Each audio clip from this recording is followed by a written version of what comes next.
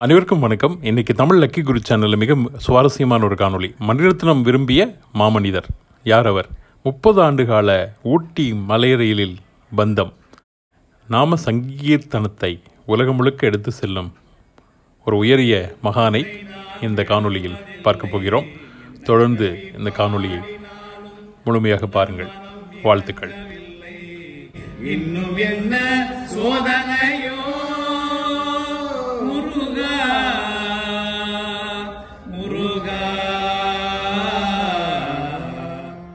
शुक्लाम्बरधरं विष्णुं शशिवर्णं सदुर्भुजं प्रसन्नवदनं ध्यायेत् சர்வவிக்னோபசாந்தயே உலக தமிழ் மக்கள் அனைவருக்கும் வணக்கம் லக்கி குரு தமிழ் சேனல் உங்களை அனைவரையும் வரவேற்கின்றது touching the world. Global reach. Imagine you could connect to that world with a single interface. Bringing together the future of innovation.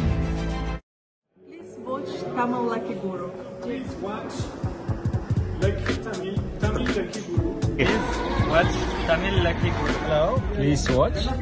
அந்த வகையிலே இன்று நான் மேட்டுப்பாளையம் வாசுதேவன் பக்தி இசை பாடகர் தமிழகம் எங்கும் பல மாவட்டங்களில் பாடி இந்தியா முழுவதும் குறிப்பாக மும்பை டெல்லி கல்கத்தா மற்றும் கர்நாடகா மாநிலங்களும் கேரளா மாநிலத்திலும் அனைத்து இந்திய தேசங்களிலும் பாடி வருகின்றேன். குறிப்பாக சொல்ல வேண்டுமென்றால் நாம சங்கீர்த்தனம் இந்த உலகம் எங்கும் பரவ வேண்டும் என்பதுதான் எனது லட்சியம். பெரிய குருமார்கள் எல்லாம் அதை பற்றி தான் கூறியிருக்கிறார்கள். நாம சங்கீர்த்தனம் நாடெல்லாம் செழிக்க வேண்டும்.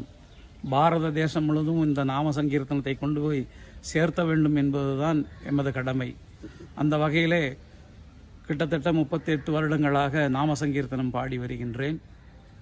மகிழ்ச்சியான தருணங்கள் என்று சொல்லப்போனால் பெரிய சுவாமி ஹரிதாஸ்கிரி அவர்களுடைய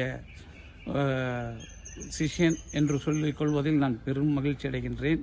அதேபோல கோவை மாவட்டத்தில் உள்ள கோவை ஜெயராமண்ணான் அவர்களுடைய பரம சிஷ்யன் என்பதை சொல்லிக் கொள்கிறேன் அவர்கள் எழுதிய பாடல்கள் முன்னோர்கள் எழுதிய பாடல்கள் பல மேதைகள் எழுதிய பாடல்களை தான் நான் பாடி வருகின்றேன்.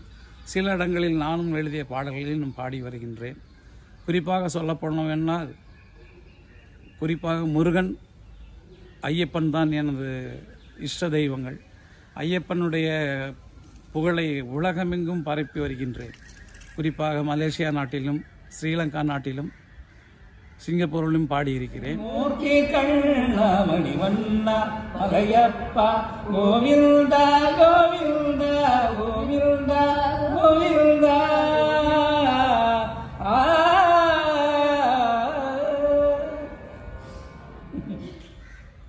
மேலும் என்னுடைய நிலைமைக்கு வந்து ரொம்ப காரணம்னு சொல்ல போனால் என்னுடைய பெற்றோர்கள் தான் அம்மாவும் அப்பாவும் தான். அப்பா கூட சில நேரத்தில் விட்டுருவார். அம்மா வந்து என்னை விடவே மாட்டாங்க. சின்ன குழந்தைகள் இருக்கும்போதே கோயிலுக்கு அழைச்சிட்டு போயிட்டு வா வா வா வான்னு கூட்டிகிட்டு போயிடுவாங்க. அப்படி ஒரு பக்தி ஞானம் வந்தது தான் யார்கிட்டையும் போய் சங்கீதம் கற்றுக்கலை எல்லாம் குருவருடைய அருள் ஆசையது அதுதான் வேற வெற்றி அடைஞ்சது. பள்ளி பருவம்னு சொல்ல போனால் நான் ஒரு எட்டாம் கிளாஸ் வரைக்கும் தான் நான் படித்தேன் அதுக்கப்புறம் வேலையில் போய் சேர்ந்தேன். உயர் வேலைன்னு சொல்லப்போனால் நான் வந்து இருந்தது ஊட்டி மலை ரயிலில். கிட்டத்தட்ட நாற்பது வருஷம் அதில் தான் நான் பணி செஞ்சிட்ருந்தேன். பிரேக்ஸ்மேன் சீனியர் பிரேக்ஸ்மேனாக இருந்தேன் அதில். இப்போ ஓய்வு பெற்றுட்டேன். கிட்டத்தட்ட ஒரு நாலு வருஷம் ஆச்சு. எனக்கு க சங்கீதம்னா அவ்வளோ ஒரு பெரியவன் வந்ததுன்னா எண்பத்தி மூணில் சபரிமலைக்கு நான் மாலை போட்டேன். என்னுடைய குருநாதருடைய காலை பிடித்தேன் அவர் வந்து நீ உட்காரு உட்காரு உட்காரு வாரம் வாரம் வா என்னுடைய பஜனைக்கு வா அப்படின்னு சொல்லி என்னை ஊக்கப்படுத்திட்டு இப்படியே மெ மெருகேற்றி மெருகேற்றி மெருகேற்றி என்னை அப்படியே கொண்டு போய் சேர்த்துனாரு தான். இன்றைக்கி சபரிமலை ஐயப்பன்னா அது எனக்கு வந்து ஐயப்பன் பாட்டுன்னா அது ஐயப்பன் மேலே அவ்வளோ உருகி அவ்வளோ அழகாலாம் ஏகப்பட்ட பாட்டெல்லாம் இருக்குது அந்த மேலே பாடியிருக்கிறோம். அக்ஷர லட்சம் தந்த அண்ணன் போஜராஜனில்லை. அச்சர லட்சம் தந்த அண்ணன் போஜராஜனில்லை. அக்ஷர லட்சம் தந்த அண்ணன் போஜராஜனில்லை. பச்சமுடனே எனக்கு பரிசலிக்க யாருமில்லை. பச்சமுடனே எனக்கு பரிசளிக்க யாருமில்லை. இக்ஷணத்தில் நீ நினைந்தார்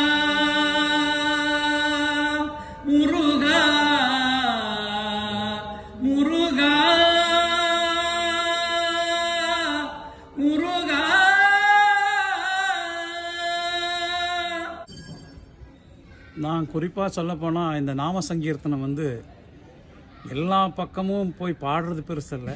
நமக்கு முன்னோர் இருந்த புரந்தரதாசர் தியாகையர் சதாசிவ பிரம்மேந்திரால் பெரிய இப்படி பெரிய பெரிய மகான்களெல்லாம் எவ்வளவோ பாட்டு எழுதியிருக்காங்க.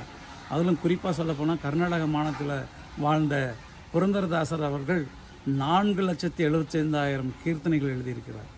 அவர் கன்னடத்தில் தான் எழுதிட்டு போனார். ஆனால் அவர் சுருக்கமாக சொல்ல போனால் பாமர மக்களையும் போய் சேர்ற மாதிரி தான் அவர் சொல்லியிருந்தார். தியாகையரும் அதே தான் பாடி ராமனை ஆராதனை பண்ணுவாங்க பத்ராச்சல ராமதாஸ் என்பவர் ஆந்திராவில் இருந்தார். ராமனை நேர்லாவே அவர் அழைச்சி கட்டி பிடிச்சி ஆராதனை பண்ணியிருக்கிறார். அதே மாதிரி அஹ், மகாராஷ்டிராவில் எடுத்துகிட்டு போனால் துக்காராம் கணபதி சுவாமிகள். அவரை வந்து சுவாமி வந்து பட்டு பீதாம்பாரத்தோடு கொண்டு வந்து மேல் லோகத்துக்கு இந்த பூத உடலோடு கொண்டு போயிருக்காருன்னா இந்த நாம சங்கீதத்தினுடைய மகிமையை நாம் வந்து தெரிஞ்சுக்கணும்.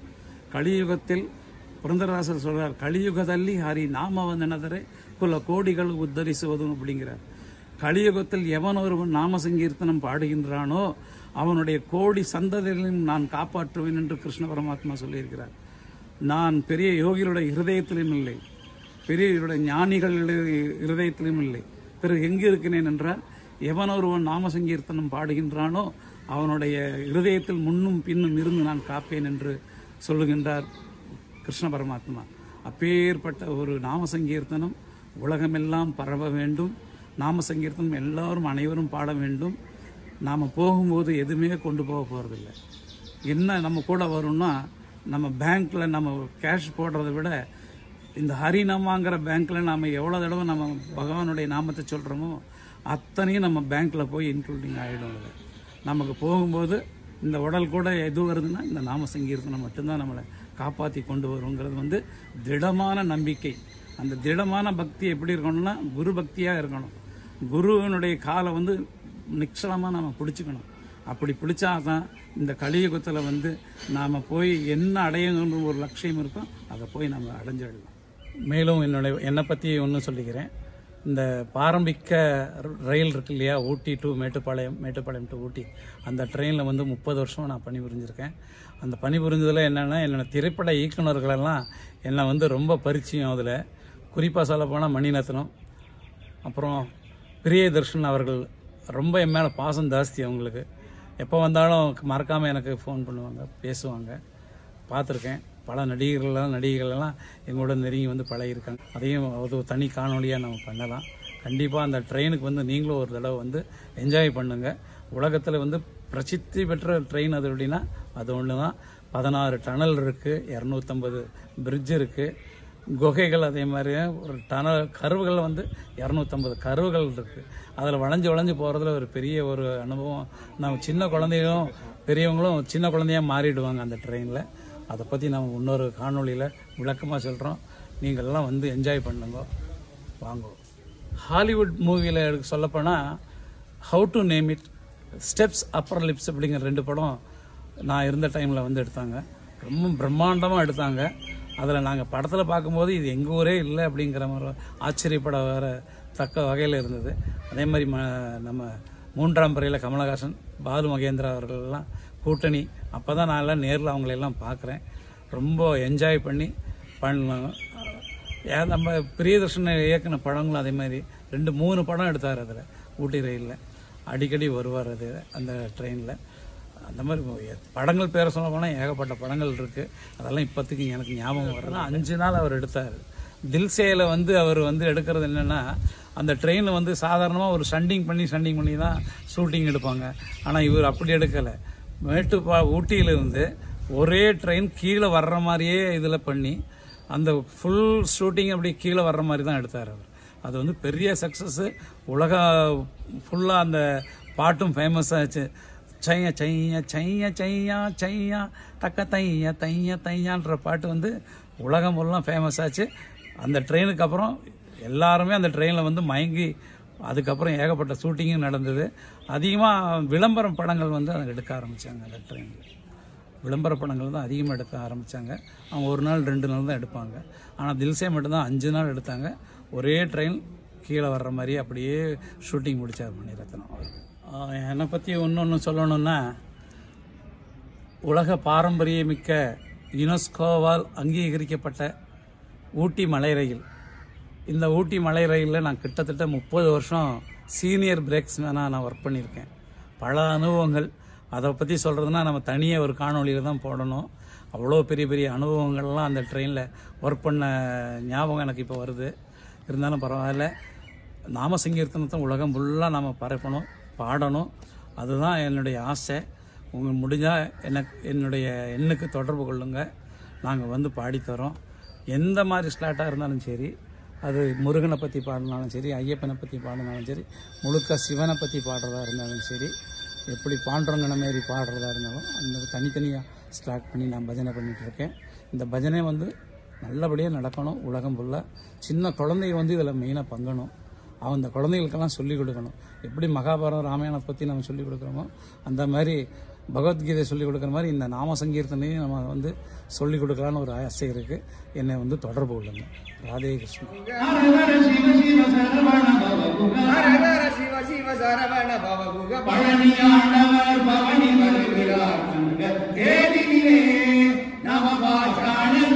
ஒரு அமைந்தாரே ஓம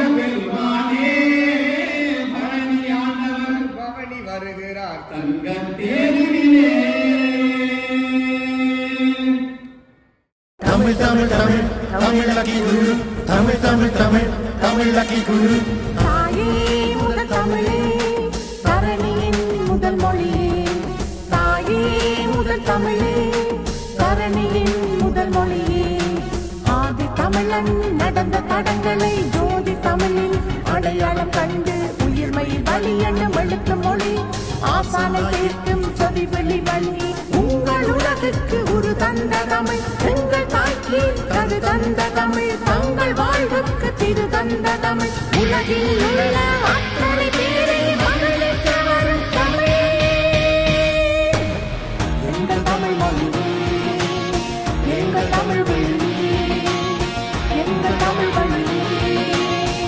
தமிழ் தமிழ் தமிழாக்கி கூறு. தமிழ் தமிழ் தமிழ் தமிழாக்கி கூறு. தமிழ் தமிழ் தமிழ் தமிழாக்கி கூறு.